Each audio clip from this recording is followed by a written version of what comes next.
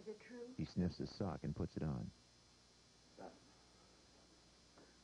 What they said on TV about the killing? It's a lie. They gotta blame somebody, so they're blaming it on me.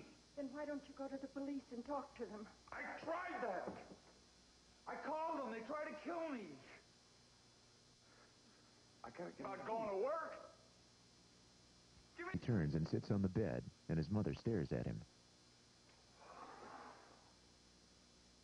Stand there staring at me like I'm so. Oh.